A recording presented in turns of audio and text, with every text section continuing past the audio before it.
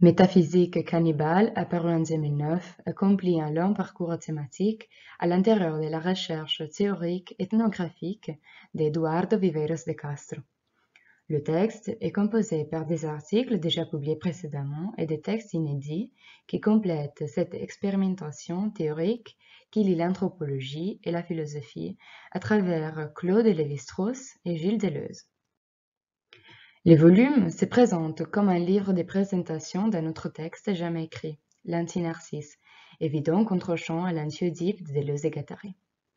Le syndrome narcissique de l'anthropologie se doit libérer n'est pas seulement un ethnocentrisme positiviste, mais l'auteur fait référence aussi à un déconstructionnisme post-moderniste inauguré par euh, Writing Culture de James Clifford et George Marcus.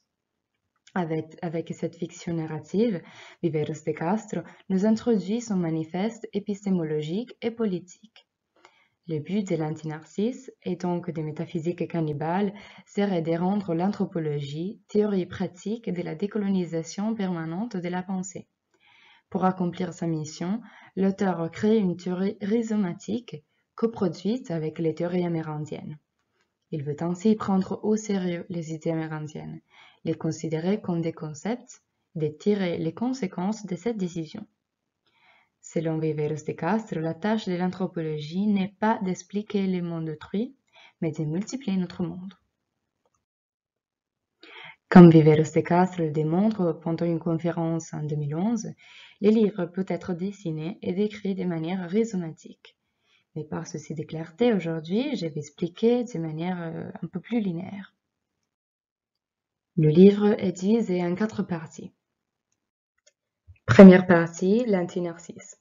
Dans cette section, il introduit ce livre imaginaire dont on a déjà parlé et y reprend deux concepts clés de sa pensée, le perspectivisme et le multinaturalisme.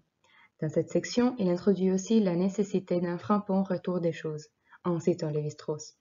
Il s'agit de bien plus de toute autre chose qu'un Return of the Native, mais un retour de la philosophie au devant de la scène non pas comme le suggérait Lévi-Strauss, sous le mode d'une alternative exclusive entre la nôtre philosophie et la leur, mais en tant que synthèse disjonctive entre l'anthropologie comme métaphysique expérimentale et la philosophie comme ethnoanthropologie sui generis qui consiste à créer des concepts une alliance démonique entre l'anthropologie et la philosophie à travers un nouveau passage en revue de la frontière entre structuralisme et post-structuralisme que l'auteur juge imprécise.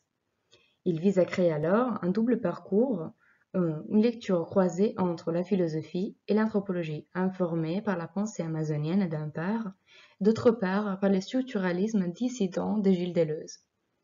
C'est plus particulièrement le chapitre 10 des Mille plateaux, euh, qui joue un rôle fondamental pour les métaphysiques cannibales. Le perspectivisme et le multinaturalisme sont maintenant définis comme les résultats entre un devenir délosien de l'ethnologie américaniste et un devenir indien de la philosophie de Deleuze et. Dans la deuxième partie, Capitalisme et schizophrénie d'un point de vue anthropologique, l'auteur nous montre comme le dialogue entre la schizophilosophie de Deleuze et l'anthropologie sociale est en réalité un thème déjà bien affirmé. En effet, il examine l'incidence spécifique de l'anthropologie sociale classique, la théorie de la parenté, sur la conception de l'osogatarienne de la machine territoriale primitive aux sémiotiques présignifiantes. Ensuite, il souligne l'importance du concept de multiplicité, qui fait passer une ligne de fuite entre les dualismes qui, selon l'auteur, enferment l'anthropologie, nature et culture, et individu et société. Le concept de multiplicité nous fait arriver dans un monde non numérologique et post-pluriel. Il conclut enfin qu'il n'y a pas de multiplicité sans perspectivisme.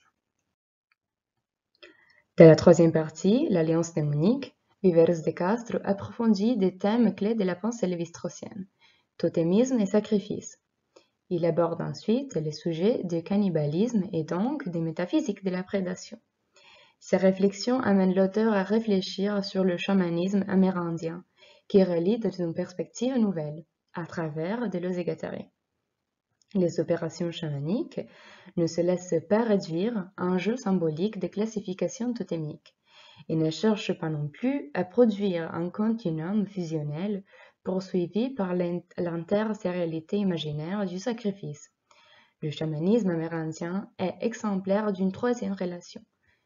Il met en scène la communication entre termes hétérogènes constituant des multiplicités pré-individuelles, intensives ou rhizomatiques. Suivant le célèbre exemple, le cinq bières d'un tout devenir jaguar. Euh, ça, ça veut dire que le bières est l'une des singularités caractéristiques de la multiplicité humain-jaguar. C'est par la voie du devenir alors que Viveros de Castro revient à Deleuze et et à Mille Plateau. En effet, les deux philosophes nous offrent une relecture des thèmes classiques du totémisme et sacrifice et ensuite des filiations-alliances. On voit ainsi comme l'auteur commence à nous montrer les noces contre nature entre Lévi-Strauss et Deleuze. La quatrième partie, le cogito cannibale, revient à la proposition initiale de réviser la frontière entre structuralisme et post-structuralisme à travers une relecture post-structuraliste des récits amérindiens, illustrés par Lévi-Strauss dans le mythologique. Les relations qui constituent les mythes exhibent de façon exemplaire, selon Viveros de Castro, les principes des connexions et hétérogénéité, multiplicité, rupture insignifiante et cartographie que Deleuze et Guattari contraposent aux modèles structuraux au nom du raison. Les récits amérindiens sont donc rhizomatiques. Les mythologiques sont un structuralisme sans structure. La mythologie amérindienne est une toile sans centre ni origine, un hyperespace traversé par des flux sémiotiques, matériels et sociaux. Bien sûr, il existe d'innombrables structures dans les mythes amérindiens, mais il n'y a pas une structure du mythe. Il n'y a pas de structure élémentaire de la mythologie. En conclusion, L'auteur théorise un structuralisme travaillé par une autre notion des structures, plus proche du raison de mille plateaux, ou bien un autre usage du concept de structure. La structure comme opérateur de divergence, modulateur des variations continues, comme multiplicité différentielle ouverte. Quelle métaphysique est alors la métaphysique amérindienne? C'est une métaphysique de la différence métaphysique de l'altérité, intérieure et antérieure à l'identité, métaphysique de la prédation ou préhension, parce que euh, l'ennemi est à la base du schéma relationnel. Enfin, c'est une métaphysique relationnelle ou cannibale, parce qu'il faut acquérir les choses pour les substantialiser. Pour conclure, on voit ensemble les, les critiques qu'on a été faites à Viveros de Castro.